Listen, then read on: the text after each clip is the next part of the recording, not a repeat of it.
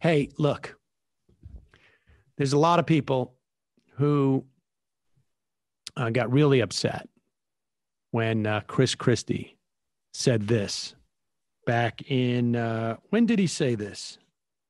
When was it he say this? This was in May. I in believe. May. Yeah. A lot of people are upset at Chris Christie for for saying these comments. I'm play this. Of course everybody wants to save every life they can. But the question is towards what end ultimately? Are there ways that we can thread the middle here to allow there, that there are going to be deaths and they're going to be deaths no matter what? And if we can do things to keep people in the mode of wearing masks, of wearing gloves, of of you know distancing where appropriate, we've got to let some of these folks get back to work because if we don't, um, we're going to destroy the American way of life in these families, and it will be years and years before we can recover. Now, of course, you'll note that he said, "Look, there's going to be some deaths. It's going to happen. It's no big deal. It's just it's it's inevitable." It's like the sun rising and the moon um, and the sun falling and then the moon coming up. And all we need to do is wear masks and we'll be fine. Now, of course, uh, Chris Christie didn't follow his own advice. Now he's ill. Um, he supposedly checked into a hospital. Now we have multiple stories of of people who have attempted to go into the hospital. They have no insurance or whatnot these are all anecdotal, but you hear about them on Twitter. Here's uh, Chris Christie. He decided, just as an abundance of caution, huh? That doesn't sound. He doesn't sound as sort of like um, as resigned as he did when he said people are just going to die. And there's nothing we can do about it. It didn't mean him. Well, for I mean, for a guy who was just like that, you would think, right? And he just said, "Oh, put it, keep it back up." Sorry. Um, when we get uh, Kyle's new system, hopefully we'll be able to get this like in one uh, quadrant, right? In consultation with my doctors, I'm sure the doctors were like, "Hey, you should really check yourself in," as opposed to like him calling up and going like, "I, I get me inside there now." I checked myself into a Morristown Medical Center this afternoon. While I'm feeling good and only have mild symptoms, due to my history of asthma, we decided this is an important precautionary measure. You know what's interesting? Um, there's no way you would have ever had him suggest that people do this back when he was saying people are going to die. He would have said that's ridiculous. That's absurd. We can't we can't afford to do that. People have got to get out there and tough it out. But when it comes time for him,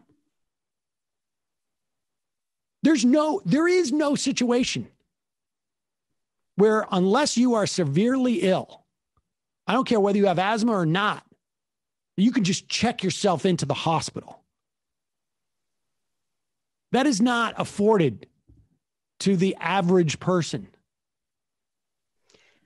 Yet there are people whose doctors said they needed to go to the hospital and their insurance companies turned them down or the hospital turned them away. And and those doctors are saying it because they're already ill. They, like the idea of like look i've got it. I've got covid. I just want to go into the hospital. Well do you have a fever? Uh, no I, just, I have very mild symptoms. Okay well then you'll wait. There is no scenario where it's like no actually i'm going to check myself in now.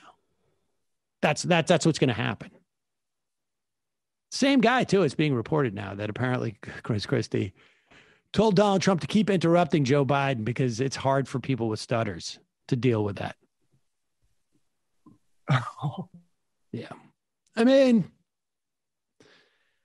I don't know. You know, I uh, I I tend to be um, atheistic. I mean, I think I'm probably a little more religious than I am. Someone who believes in God.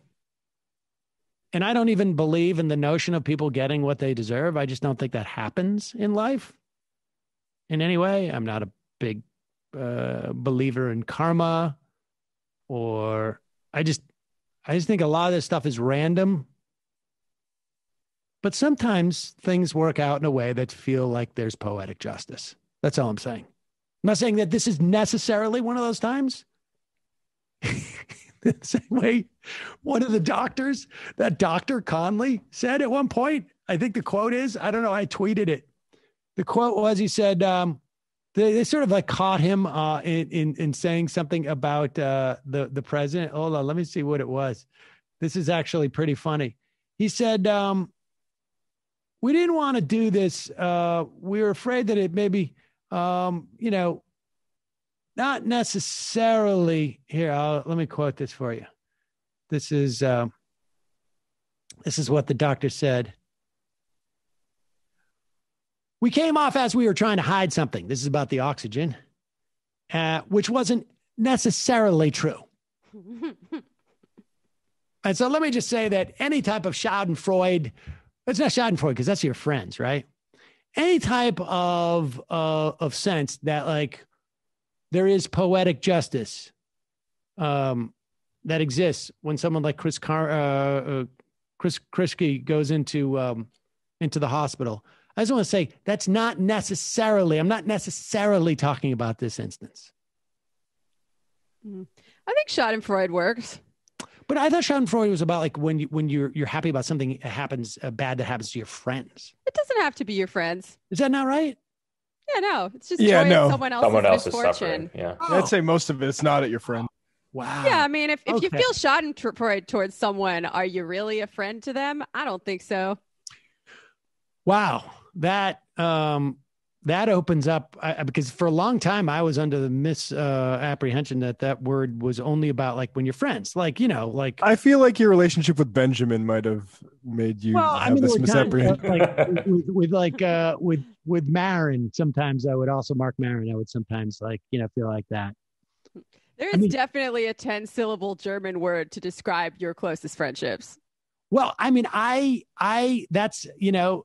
I, I guess I had just a lot of opportunities to feel that for friends, and so I just assumed it it it, it dealt with that. But um, uh, yeah, all right, that's good. I didn't realize that, but yeah, It really opens up new horizons for all of us. it does. It does. I, I gotta say, if a substantial number of these ghouls uh, succumb to this disease in the just like the most Greekly poetic way imaginable, I will go to temple. I'll go to shul. Like all those all those Hasids who constantly like stop me on the street, ask me if I'm Jewish, try to get me back. I'm back, baby. I mean, there, it had occurred to me that I'll wear the it- wig. See, I- have a bunch of babies. um, you got to get some longer skirts. Eh. Um, I did fast this year. I'm not. I mean, I fast every year, and I, you know, who knows.